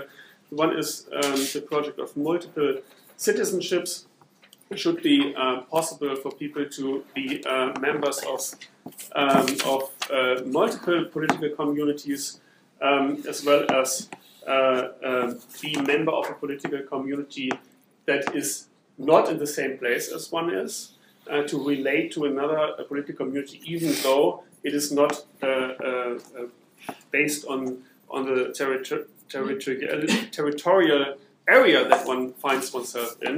Uh, the second is the need for a transnational public sphere. Um, I believe that the internet or the uh, um, technological solutions that the internet provide uh, give us uh, very good circumstances um, to do that, uh, to find a transnational way of communicating, also transnational way of decision making. And uh, last but not least, maybe the most important point is um, to experiment with, point, with um, models of interlegality and legal pluralism. Uh, it should be possible for multiple legal uh, orders to coexist in the same uh, uh, territorial area. Um, it, we need to, uh, the international law discussion is already um, very much and very intensely discussing how this could look like, how multiple legal orders could deal with um, possible collisions and conflicts, norm conflicts. Um, there's no reason why we should only talk about this on the level of international law and not also on the law uh, on the national level or on the level of local and uh, uh, and um, on, on, of local communities. Um, I just want to uh, end with a more political point. Um, I'm not against uh, reformism. I think that um, those who are in solidarity with uh, migrants and refugees struggles should do whatever is in their means to uh, to express this solidarity. That means, uh, first of all, provide food and shelter, uh, work, communication, fight against uh, the illegalization of migration, fight against uh, the further fortification of the of the border regime, fight against administrative and police chicaneries and harassment, and so on. I think that's, this is all is very important, but um, I also really um, very strongly believe that uh, given this current situation that uh, the left cannot remain reformist, um, be simply because if this is true, that global immigration is not going, to go away. Um, this will be simply the part of our political reality for the next centuries. Um, uh, and at the same time, the uh, current political institutions are not capable of dealing with this um, uh, in, a, in, a, in a way that does not lead to a humanitarian crisis. If this, both of these assumptions are true, then we are confronted with a, a very serious alternative, uh, namely either to uh, resolutely overcome the current political institutions or to face a, a new global catastrophe. Thank you very much.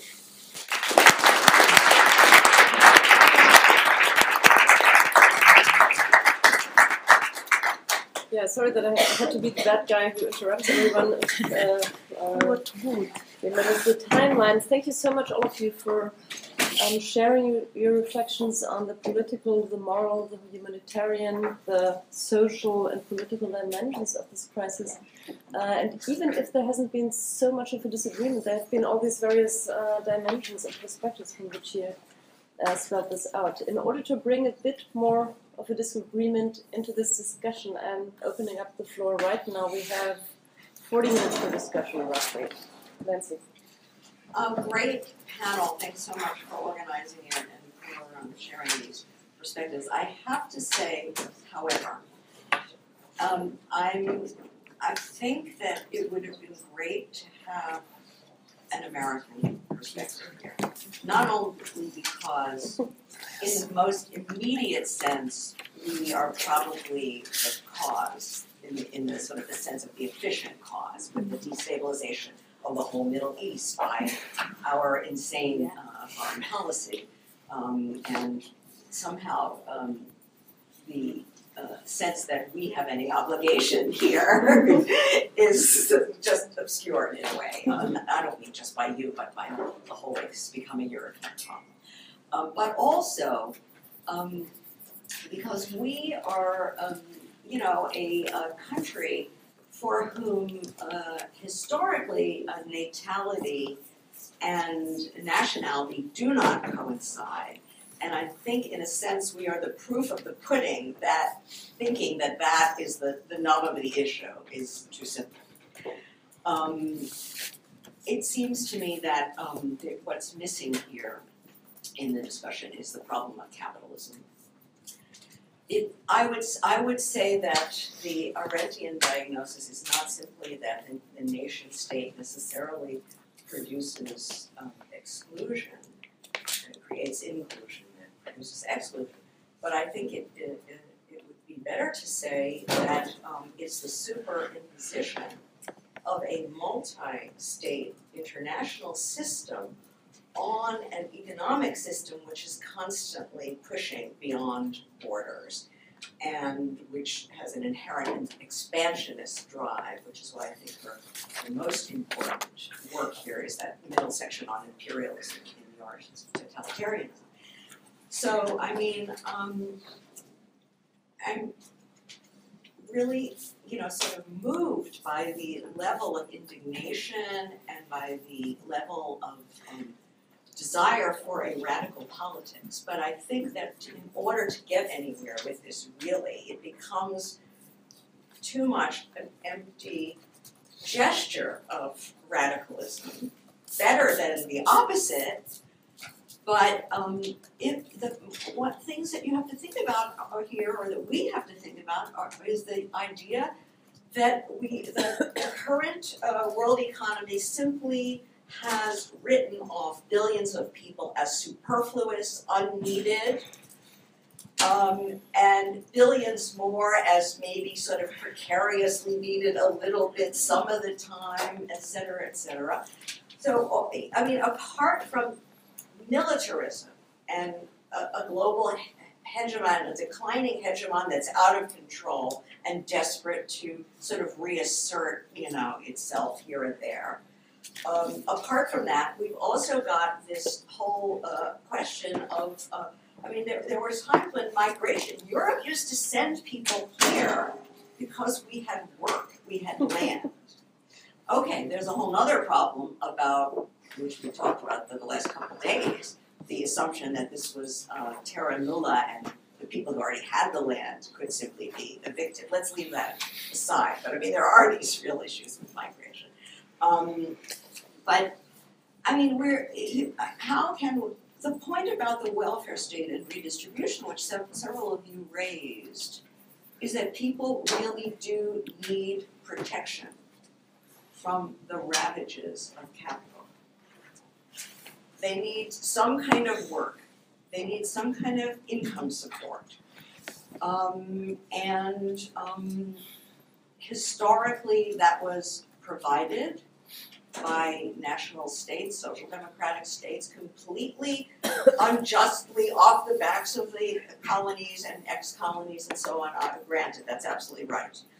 Um, but unless one can talk about how we're going to reorganize the economy to give such protection and such things to people, then to stand on the border and say, you know, uh, we- we're against borders, it becomes sort of playing at revolution.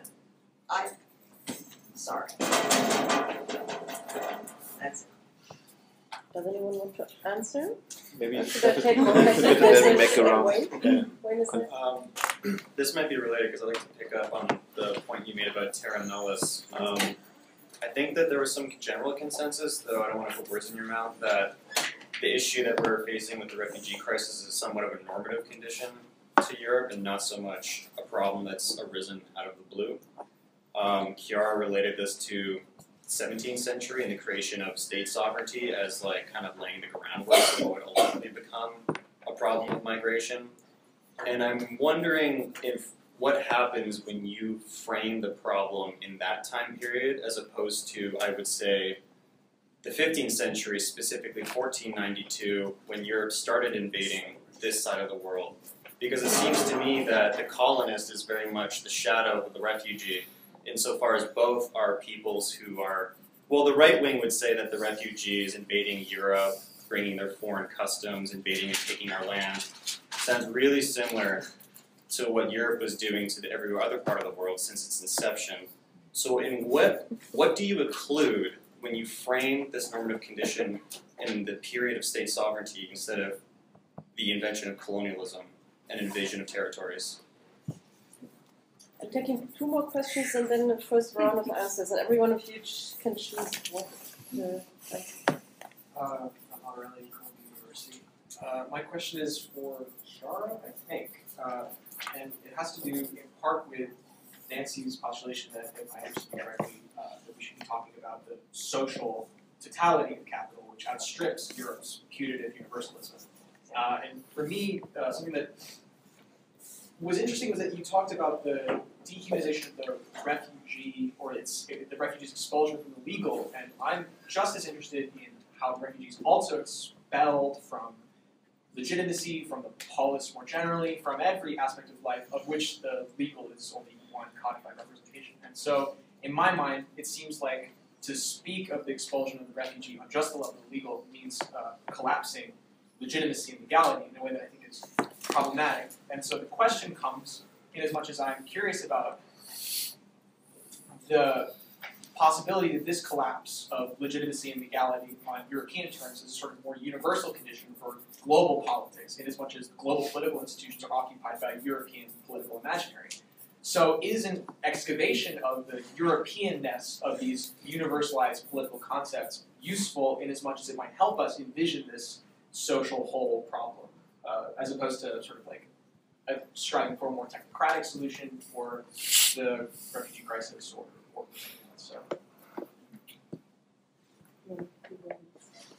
My name is Annika Lems. I'm actually just on holiday in New York and heard about this event and found it really interesting to come. I'm an anthropologist and I'm at the moment working in Switzerland with unaccompanied minors who have basically arrived during these times of refugee crisis.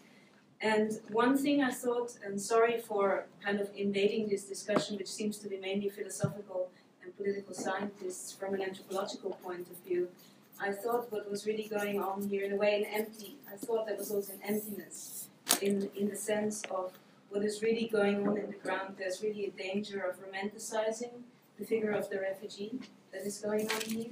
So the people that I'm working with have um, gone through Libya, have gone through across the Mediterranean, across Italy, have crossed many borders, have really run into conflict with, with um, many police forces, border patrols, but they would never actually frame their act as a political act. So I think there is a danger of, um, for the left, I think really has the task of trying to understand these people and, and their histories, because the people that I'm working with, I would say for the majority, the main their main concern is that people actually understand why they are coming to Europe, that people actually take their stories seriously. And um, I think that there is a danger of, by describing this and generalizing this as a political act, of not actually really um, taking these people seriously. And yeah, I would be curious to know how you're going to circumvent this. I'm taking two more questions and then we have the round. So please. So my question sort of resonates with what Nancy and Wayne have said, um, or at least the problem that I would present, which is uh, I think from an American perspective, very real and that we live in New York City and this is actively happening. So like the problem of gentrification, where like essentially like capital invests in like um, neighborhoods and essentially chases people out of those neighborhoods, um, which I think so. For me, like uh, those neighborhoods having been established for a very long time as like um, you know working class or uh, in particular along racial bounds. So um, Black and Latino and Caribbean communities in New York City, etc. Um, capital invests in these areas in order to like essentially chase people out of those neighborhoods and make them for like wealthy white people. Um, so it uh, you know this notion of borders, well, you know, we could say let's get rid of borders, you know, and the nation state dissolves. Like, um, it has a lot of, I think, repercussions for, um, for you know, subjugated groups in in the ways that they are able to like protect themselves from um, the ravages of capitalism. But this also, I mean, it, it, its opposite occurs. So like the divestment of like particular communities such as Flint, Michigan, where we're having this huge like um, like lead in the water crisis. So, which is a has a large population population of Black people, um, and it takes on an international scope when you look at Asia and the ways that like capital invests there in, in that way, such as So like, I think like international capitalism could very well benefit from just getting rid of borders. So I think that there's another like aspect of like getting rid of borders is not just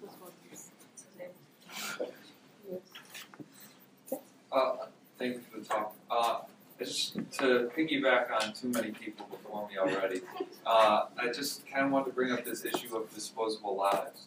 Because I think what's happening in too many of these cases, particularly in the one that Cinzia brought up uh, really early on, when you discussed the fact that uh, right now there's this big issue going on between Italy and Germany and trying to figure out who's going to pay for certain things, um, is that we do run the risk of both creating, um, taking the refugees and creating them into these romantic and overly politicized lives, but we're also creating this idea of their lives as being completely disposable and kind of uh, for the purpose of uh, almost using them as a bargaining chip and dehumanizing them in that sort of way. And to just continue Chiara's metaphor for a minute about the wolves, I mean, with Italy and with Germany, they're the ones who are trying to chase um, chase the wolves out in terms of like maintaining capitalism, but that's what is keeping it around in such a strong way in the kind of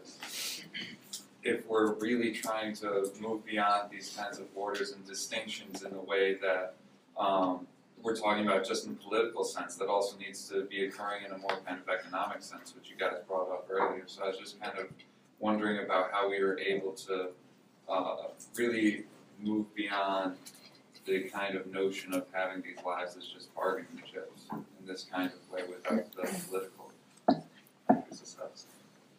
So some of the questions are directed to all of you and some are more specific. So I just would just suggest to have a short run of answers and starting uh, with Daniel and then I mean you can just pick on whatever. Yeah, I, I, am going to say something about capitalism. Um, mm-hmm. I mean, obviously, um, I, I mean, I'm not sure if I agree. Uh, uh, I think uh, we have to uh, smash capitalism too, but uh, for for independent reasons. I mean, I don't, I don't, I, I think there's a certain danger of making the task too big uh, to, to, actually fight it. If we always say, I mean, the the way you put it is um, if we're not fighting capitalism, then we are just playing revolution. But I think if we always uh, want to make a revolution, then we cannot smash the border regime. And and so this is uh, this is I don't know. I, I would rather see it as a multi-perspective fight. We have to fight capitalism and fight the border regime, um, because only then can we take into account the complication, the complicated constellation that is playing out between borders and capitalism. I think capitalism sometimes has an interest in opening borders, sometimes right. it has an interest in closing borders, sometimes it has an interest in channeling migration, but only a certain migration and others not, and so on. And, and I think there's, there's also a relative autonomy of the state and of the ideologies fooling, uh, fooling the state. Um, it's not clear to me who's going to win. Like in this situation where there's a there's a conflict between uh, capital that uh, uh, uh, articulated through what was it Wall Street Journal or Financial Times and uh, the states. Um, it might just as well be that capital loses this fight, even though they think Schengen, the reinstatement of Schengen, would be a good idea, simply because there's a relative autonomy of state action. So, I mean, I think we have to look very carefully of at, at what is going on in a particular situation. Sometimes um, capital might even be uh, an ally for the fight um, uh, for open borders, and I think I, I would very much welcome such a situation, to be quite honest. Um, I'm in a peculiar position because actually I think I, I, I, capitalism was present in what they said all the way through, and I will explain why. Um, some some of the things I said actually were quite explicitly about how European capitalism is uh, reorganizing also the competing interests in this. Um, but uh, uh, I will add uh, a couple of, of, of questions. So, first of all, um, it is true that, uh, that there is this element of disposable lives or superfluous lives, as uh, Nancy said, uh, to a certain extent, though, in the sense that, um, for example, if we take the both the um, European Union Turkey agreement, but especially the migration compact uh, proposed by uh, by Renzi, this would the migration compact would organize also economic migration, not only the refugees. And here, the, the, the, the, the logic of the agreement would be basically uh, to, um, insofar as these migrants would be detained in the outside of the borders, so in you know, in uh, in Egypt, for example, in Libya, and so on. Um, the uh, applications for uh, lawful uh, migration would be processed in these centers, and in this way, basically, uh, the European Union would be able to select what migrants, what people actually qualify for migrants. So this has strictly to do with uh, what kind of labor force uh, the European Union wants to import, uh, in relation also to its democratic, demographic crisis. And the distinction between refugees and, and economic migrants has unfortunately to do with, I agree with you, it is a matter just of, uh, you know, opportunist, uh, bureaucratic, opportunism, but it, it, there is also this element, which is that, uh, um, according to some studies, the level of qualification of uh, Syrian refugees in terms, you know, know uh, higher education, uh, um, uh, high school, uh, uh, you know, bachelor, and so on and so on, is much greater than the, the qualification of migrants and refugees, because people coming from Nigeria are not these refugees, come on, uh, like from some areas of Nigeria. So a distinction cannot be really made. But the point is that the level of qualification, this is a much more spendable labor force that can be imported and exploited as cheap labor. And by the way, uh, Germany is uh, at the moment discussing a, a, a law the first law of integration of the decades, in 60 years. Um, and I, I, I, was reading about the, you know, some summary of the law, and precisely the logic of the law is precisely this. So precisely that of keeping, importing, and integrating cheap, qualified labor, labor force that, uh, that can be exploited, and, uh, and, uh, and tying the, the, the visas uh, and so on to uh, compliance with the requirements, including work requirements. So um, the second thing I want to say uh, again uh, about capitalism is that uh, what Daniel actually was uh, uh, was saying, I, I, partially agree, except with the collaboration with the capitalist part. Uh, I partially agree in the sense that there is today. So one, you know, the crisis is is an articulation of complex factors. So it, it, it's very difficult to say what is the main factor in the crisis today, and it is a you know it is a crisis with a long story, you know, long, long background. But one of the elements of, uh, of a crisis has to do with the, precisely with the conflict of interest between, on the one hand, the necessity for, uh, that European capitals has to maintain Schengen. This is like they desperately need this. This would be a disaster. Um, and the pressures uh, to which uh, national states are subject uh, from the public, from an increasingly worried xenophobic public opinion. This has not not to do only with the extreme right forces in Europe. It has also to do with, for example, the effect that I'm, I'm sorry to say, but this is the reality. The effect that uh, the terrorist attacks in the last months are having on uh, on moving to the right on the issue of refugees and and, and migrants the public opinion. So it's not the problem is not just the xenophobic right. The problem is that more generally how uh, the public opinion is is shifting, and the unfortunate and the unfortunate uh, effect, which is precisely what they wanted to achieve, of ISIS attacks, uh, terrorist attacks in Europe. So these two elements are actually clashing, uh, and, uh, and the European governments are basically, uh, you know, clashed between these two Uh, op opposite forces. And just to give an example and shut up, uh, the Hungarian government, the one that built the walls, when the discussion started about suspending Schengen, actually said no, absolutely no, that they didn't want to suspend Schengen by any means. So this is a, to explain, you know, the level of contradictions, and I think the outcome, the outcome is unclear. I do not, again, I think it is unlikely that we will just go back to uh, to a national governance. I don't think this is the most likely scenario, but I also think that they really don't know at the moment what to do, precisely because there are there are uh, pulled um, uh, by different forces, by different aspects. There are competing factors playing a role, and capitalism must be part of the analysis. Otherwise, it is impossible to understand what is happening uh, happening in, in Europe right now. Sorry. Yes, um, uh, very quickly.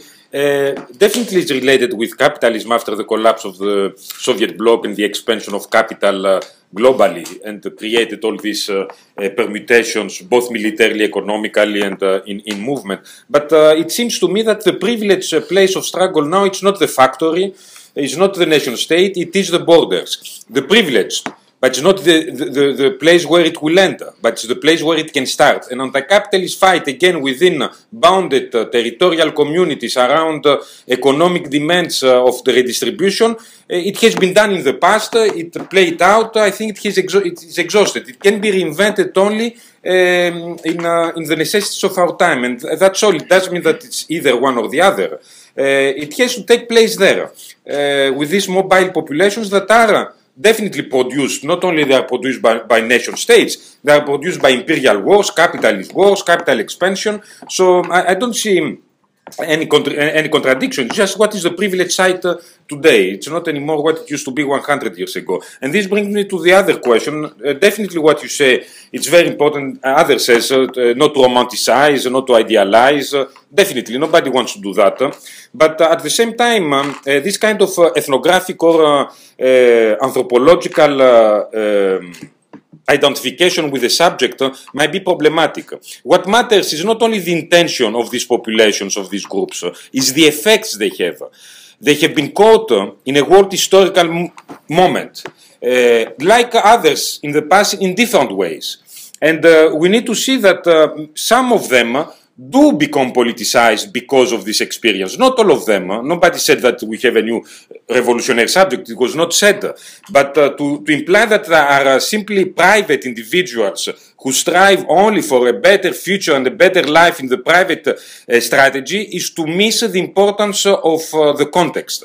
That the context is we have seen movements of migrants, refugees in the borders, and we have been some of us there as well, and we have met with them, and we have discussed with them. And they don't say, oh, I don't only care to find a job to go to Germany to, to get a position and to have a better future for my children. They say that what is happening uh, is political against their exclusions because of the wars that uh, the United States and Europe have been launching on them. They have a political language. They are not a simple uh, sheer life moving uh, to find a more uh, privilege. They have a political language, and uh, don't forget that sub political subjects become politicized because of the conditions they are confronted. They are not born political in an empty space, and this is the, the place now that uh, new political subjectivities will emerge for both for the extreme right and both for uh, what might become uh, the, the, the, new left uh, of the future. It will not come uh, from the, the domestic uh, identifications. It will come from the politicization of movements. And it is happening. We have seen these movements. It's not something new. With the sans-papiers before, with the other movements before, with the, with the revolts in detention camps, with, the, with strikes, Italian irregular migrants, six years ago in, in South Italy engaged in a strike. They stopped work. And they organized uh, in their own associations. There is a whole uh, um, uh, uh, politicization of, of, irregular migrants on many issues, on deportation, on uh, detention, on labor conditions. These things now they need to, to, to, coalesce gradually, and they will coalesce, it seems to me, in the borders. Uh, at some point, I don't think it will be so long, a, a, a, voice, a thinker from the migrant movements, the refugee movements will emerge and will give voice. Will not be a, another native European or, or, North American will do. A Spartacus of the migrants will come, and uh, I think uh, we will see that. Uh, it will happen. So we only have it will, uh, unavoidable. Two more questions and two more people on the panel to respond to the first round of questions. So. Right. Okay. In any case, I'll try to be very brief, so I apologize if I don't re respond to everybody. But I think um, I will just focus on try to group questions together and focus on two issues. First, uh, when I when I speak about the uh, sovereign state and as being born in European modernity, I precisely mean that it's uh, just one side of a whole, which includes on the one hand capitalism, obviously, and on the other colonialism. So we can discuss the um, obviously, there's no European modernity without colonialism. We can discuss the dates, but uh, 1648 simply ratified the process of construction of uh, states, which are also the emergence of capitalism in Europe, which happened thanks to uh, the colony system. So I see the, the, there's a question of language here, but I, I, when I speak about European modernity, that's what I'm talking about. Um, and uh, in that respect, uh, we have to be clear. I mean, particularly when it comes to Europe, we are talking about uh, um, a, a, political process that is capitalist throughout, in the sense that uh, despite uh, nice talks about Europe being uh, the visionary project to overcome wars between European countries, the project uh, was successful simply because it was a process of functional integration, uh, and every institution that we have at the European level is just the spillover effect of uh, uh the, um, the uh, pushes towards free circulation of capital in the European space. So, actually, what we, when we talk about Europe, we are talking about a capitalist enterprise. So, in this sense, I have to say I don't agree with you. Uh, I think that the border regime is uh, uh, the tool whereby capitalists open or closes the borders according to their needs um, and the, the, needs of the capital. Obviously, there's always not always a, a, kind of uh, um, a congruence between them. That's why I do think that we are at the moment of uh, potential uh, crisis and therefore change.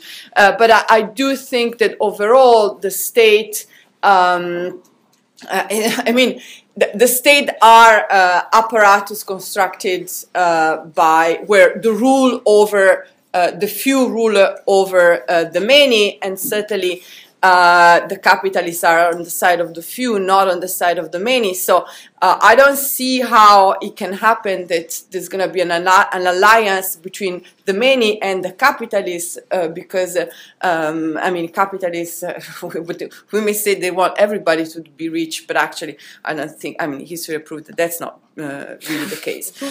secondly, um, with regard to this problem, which I think there exists about romanticizing the struggles um, and romanticizing the immigrants, I think this also depends on what you expect from a political theories. I don't think that, you know, political theories are a philosopher, my task is to provide blueprint for the revolution or even to say where evolution should take place in the factory, in uh, the strike, uh, in uh, um, uh, around the borders. I see more. Uh, I'm more of an anarchist, but I see anarchy as a method. Um, it's not the blueprint for a perfect society, but it's a method uh, whereby in every single situation you identify conditions of hierarchy, of oppression, and you try to dismantle them with every uh, possible means. I doubt capitalists will uh, join us in this, but anyway, maybe one.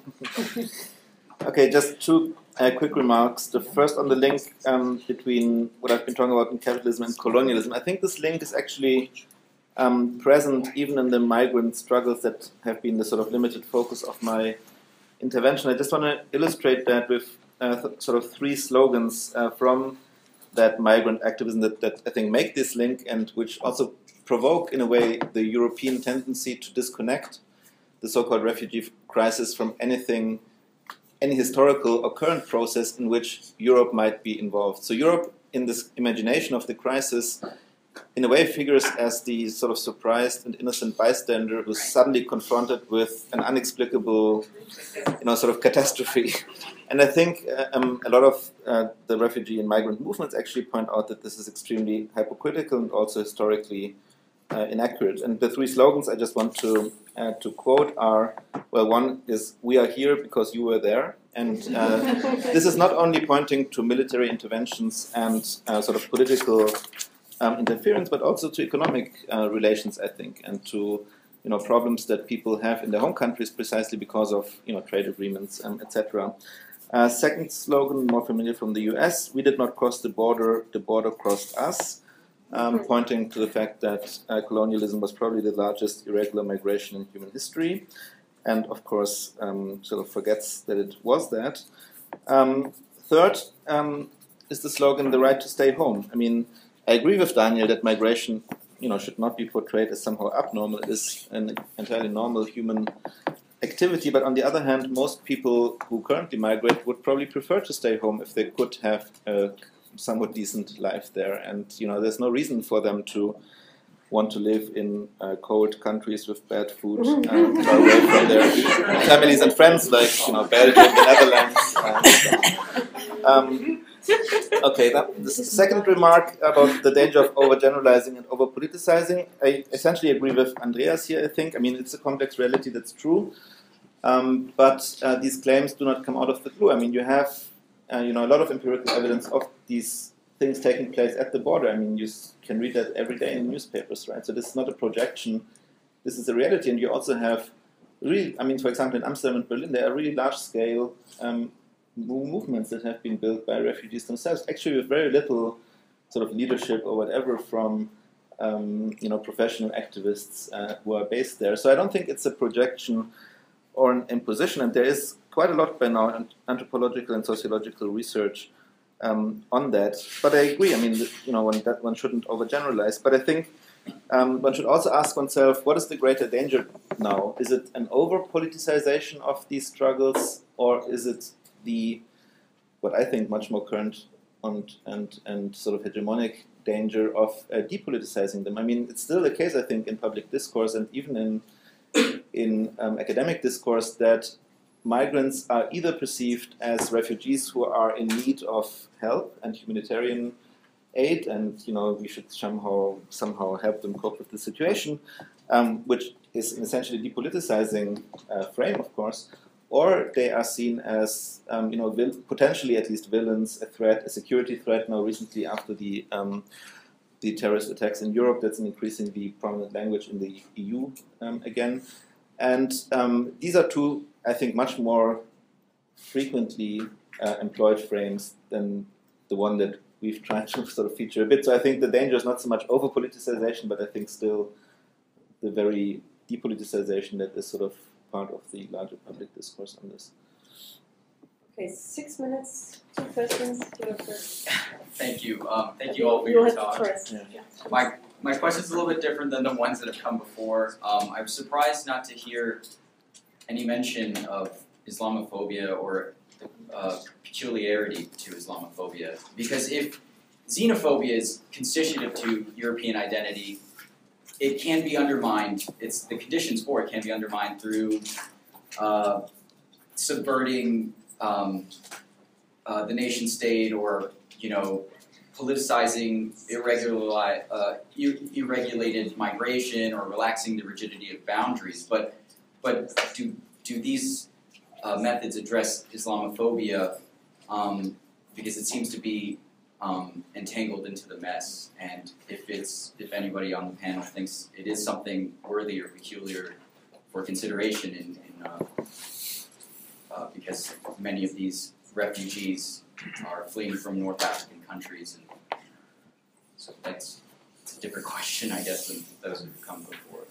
Shall we just Um, collect words instead of we really have? Uh, We have one more question, and that's it. Uh, I'm sorry, but then I close. the- yeah, no, but I'm saying instead of us giving answers, Yeah. collect all the questions All the, and the Claude rest all the the questions. questions. we could do. I don't know. I, we Okay. spoke already. So you're next. Wait. That's right. That's fine, It's the last one. Uh, I, it goes in a similar direction. So what I was actually uh, thinking about is that you were mentioning a lot the transnational perspective that is necessary and that it's not only about Europe anymore. Uh, and it's also uh, very important to think about the externalization of the borders that Europe is doing.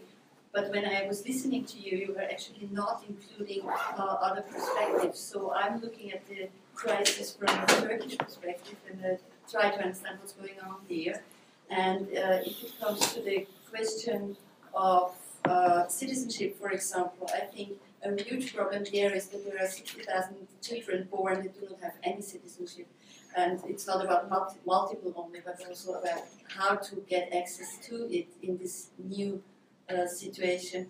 And there is uh, also, uh, I mean, Europe is negotiating with Turkey now since 2004 and 5, so around this time, and and uh, they started actually this uh, roadmap to Europe for Turkey that is including this deal that they did now for such a long time. And I sometimes have the impression, since we are not really looking at the the things that are going on in these countries that are seen as the, the ones that the borders are externalized to, we, we miss a lot of important questions also for Europe. So, and I thought it's kind of missing. It's not only the American voice, but also the, the voice of other countries, and Islamophobia will be a part of that.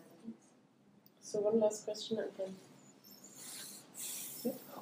Uh, so a really quick one, just because I heard a little bit of uh, disagreement, maybe. Um, uh, I think there was agreement that the left can't continue to be reformist and has to radicalize was the word that I heard. Uh, what does that look like? What is that? I mean, I grew up in a time when uh, radicalization of the left is assumed to be dead, and so I don't necessarily understand what that looks like, and I'd like to hear what you all think.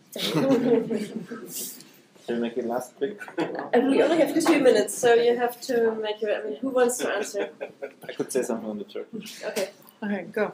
So just a word on that. I mean, I agree that this is a perspective that is extremely necessary, especially um, in the light of, um, let's say, countering this crisis discourse, because I mean, you know, the numbers are not insignificant in Europe, of course, but the numbers in Turkey and all the other neighboring countries are, of course, much much bigger. Not to talk about, you know, many African countries that are um, accommodating refugees from all kinds of conflicts. So, yeah, we should take these perspectives very seriously because they um, can also combat this parochialism where Europe thinks it's suffering from huge numbers of refugees. Yeah. Well, it's pretty laughable in, in, if you compare it with the first. Yeah, maybe we should up. say, for those who don't know, that Turkey is, is currently something like three million It's part of refugees. this externalization. Three million. So, Registered. right. There will be one Right. difference. Registered. Okay, Andreas answers to the radical left. Yes, the question. right. so you will you will you will hear it from someone who is uh, uh, uh, one or two generations before you that experienced the defeat of radical politics. So you are the, you come after the result of this defeat. Uh, in this present condition, radicalization means uh, definitely a project of radical transformation that will include a geopolitical and territorial component. It will not leave. Uh, uh, untouched uh, the existing political unities or the idea of is in the demos as granted, but it will question and transform even the idea of membership. That is also of borders, um, of communities. The liberal bourgeois uh, project that we witnessed in the last 30 years was also the neoliberal, was also revolutionary in that sense with the European Union here, NAFTA, in the, it was also geopolitical and military. The, the radicalization of the left, if the, we can use this term without really uh, being disappointed, will mean precisely an alternative uh, geopolitical, territorial, and also economic uh, vision and, and, and strategy of uh, transformation. So. This now.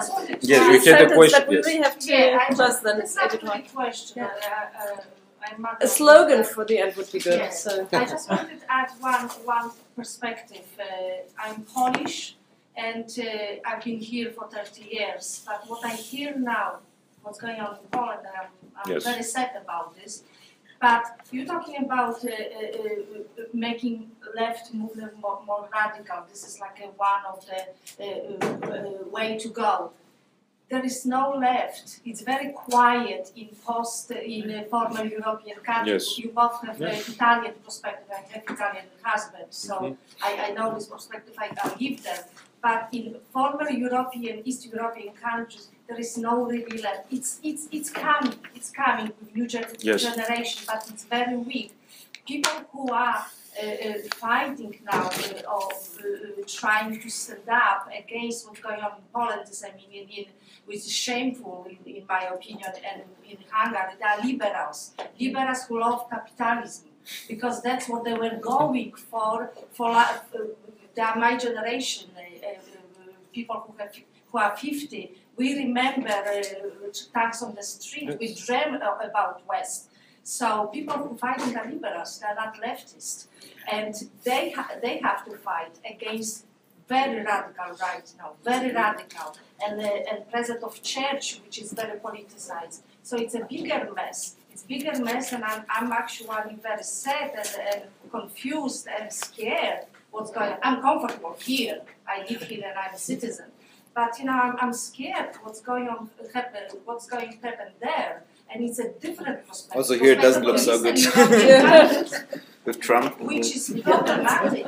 No, no, definitely. Okay, Kar- So, okay. Thank you so much, all of you. I mean, uh, for your questions, for your comments, for your um, interpretations.